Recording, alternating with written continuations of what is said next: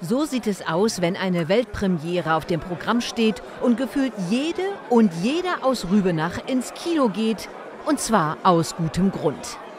Denn ein Filmprojekt ist nach zehn Jahren realisiert worden. Mit Stubi und Sekt war man gespannt auf die Geschichte. Und die geht so. Diamante erzählt die unglaubliche Geschichte des Fußballers Rudi Warder. Warder galt Mitte der 1970er Jahre als Ausnahmetalent, kam jedoch nie über den Status eines Zweitligaspielers hinaus und verschwand 1982 nach zahlreichen Eskapaden. Nun hat Warders Bruder Ferdi, Platzwart in Rübenach bei Koblenz, Hinweise erhalten, dass Rudi am anderen Ende der Welt in Brasilien unter dem Spitznamen Diamante die Fans begeistert und dort bis heute als Ballzauberer verehrt wird. Im Kino also Weltpremiere, die Stimmung riesig und die beiden Regisseure sichtlich bewegt. Ich bin immer froh, wenn ich hier vor so einem Publikum stehe, wenn voll einen vollen Saal, irgendwie, dann weiß ich, wofür ich Filme mache. Ja. Ich kann mich, ich kann mich dem Georg nur anschließen. Also, ähm, der Georg hatte die verrückte Idee zu dem Film und er hatte auch die Idee, dass es Rübenach wäre, weil er eigentlich einfach nur nicht das Ruhrgebiet wieder nochmal bespielen wollte, und hat dann mit dem Finger auf der Landkarte das rausgesucht. Und ihr werdet gleich Teile sehen in dem Film, die spielen in Rio. Und da ähm, sprechen wir zwar auch von großem Kino, aber da waren wir zu dritt unterwegs. Da hatte ich ein, ein Mikro in der Hand, der Georg die Kamera und wir hatten noch einen Schauspieler. Und zu dem Zeitpunkt haben wir nur zwei Leute gehabt, die uns unterstützt haben. Das war Manfred Keiling und der Thomas Beek, der dann auch im Film zu sehen sein wird. Ähm,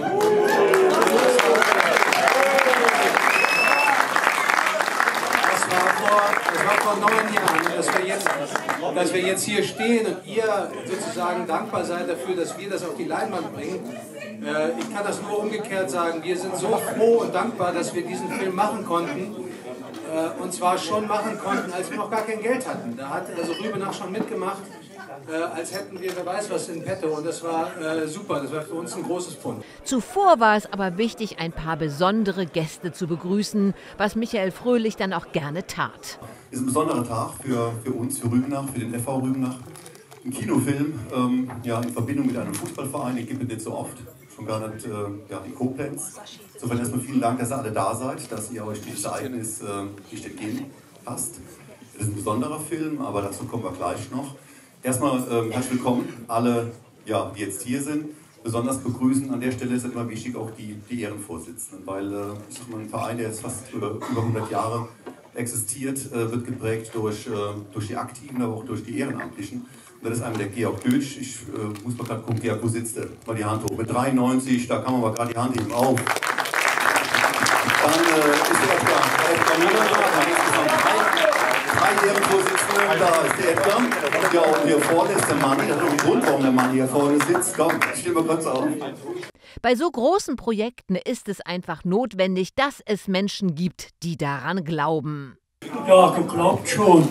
Allerdings muss ich sagen, als ich den ersten Anruf hatte äh, und mir gesagt wurde, in Rübenach wird ein Film gedreht, da dachte ich, hier bist du jemand aufgesessen, guck, guck, guck mal ins Internet, ob da auch alles stimmt. Und bei einem solchen Projekt ist auch die Bürgermeisterin nah dran, aus gutem Grund.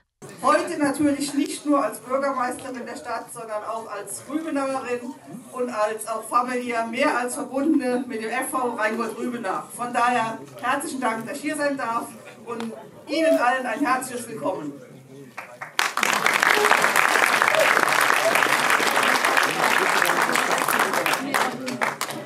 Natürlich riesig, dass dieses Projekt jetzt wirklich nach zehn Jahren Realität wird. Und ich denke, äh, wer weiß, wie viel Leidenschaft so viele Menschen daran gearbeitet haben, der weiß auch, was das dem Verein bedeutet. Und Michael, du hast eben schon gesagt, das ist schon wirklich was ganz Besonderes, wenn solch ein Verein wie der FV Rheingold-Rübenach, der natürlich im Stadtteil eine Riesenbedeutung hat, der riesen viele Mitglieder hat, aber wenn der wirklich einen Kinofilm hat, dann hat sonst vielleicht mal ja irgendeiner von den Erstligisten oder Champions League-Spielern, von daher, selbst die häufig nicht, genau, aber von daher einfach ganz toll, dass das so ist. Ja, und dann galt es natürlich noch, Danke zu sagen. Danke erstmal an alle Sponsoren, die uns äh, heute Abend ähm, finanziell unterstützt haben. Aber auch einen besonderen Dank an Dirk. Jetzt, Dirk, äh, mal gerade gucken, wo bist du? Da hinten, ganz da Jetzt darf ich trotzdem mal nach vorne bitten, auch wenn du das jetzt mit Sicherheit nicht liebst, aber jetzt. Wir brauchen äh, das unbedingt fürs Jetzt Foto. brauchen wir dich. Also, der Dirk ist ja jemand, ähm, wenn man verrückte Ideen hat, dann, äh, dann toppt er die nochmal mit, äh, mit äh, verrückteren Ideen und Vorschlägen. Und dann hast du ihm gesagt, Dirk, das ist so ein toller Film und äh, da ist auch eine Szene drin, wo ähm, der Edeka-Markt ähm, besonders in Szene gesetzt wird. Das wäre doch was. Und sagt, okay, ich bin dabei, ich unterstütze das. Insofern, Kommt hier jetzt ein Applaus, würde ich sagen. nochmal vielen Dank, Dirk.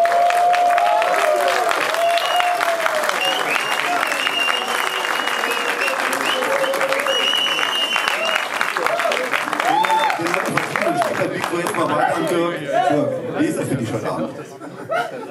Wie gestern Abend äh, unser Spiel, wo wir nach 10 Minuten 2-0 vorne, nach 25 Minuten 2-2 hinten oder 3-2 oder zur Halbzeit 3-2 hinten gelegen haben und dann zum Glück noch 5-3 oder 5-2 gewonnen haben. Ähm, haben wir 5-3 gewonnen? Okay. Ich war so dabei, äh, okay, haben wir 5-3 gewonnen, zum Glück. Ähm, ich bin gerne oft am Fußballplatz und ähm, Dinge, die ich in Rübenach tue, tue ich leider, oder ich muss dann auch in Metter nicht immer tun. Ja, das tut mir nicht so gerne, aber egal. Aber ich habe eine große Mission und wer mich länger verfolgt, weiß das. In zwei, Herbert Hennes sitzt auch hier vorne. In zwei Jahren wird unser schönes Dörfchen Rübenach 1250 Jahre alt.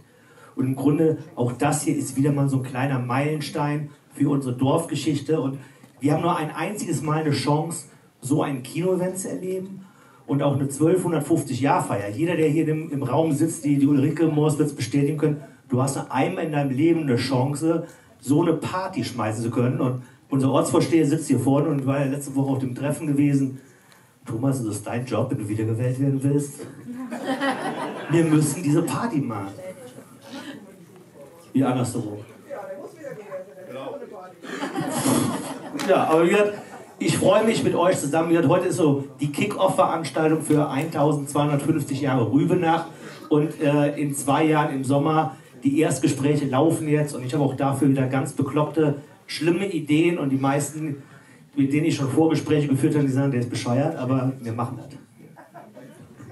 Bist ja positiv. Alles gut. Mario eine politische Sendung, aber beim Thomas Roos bin ich sicher, der wird wieder gewählt, weil einen besseren Ortsvorsteher können wir nicht, können wir nicht haben. Tja, und dann ging es los mit der Weltpremiere Diamante, Fußballgott, Rübenach, Forever.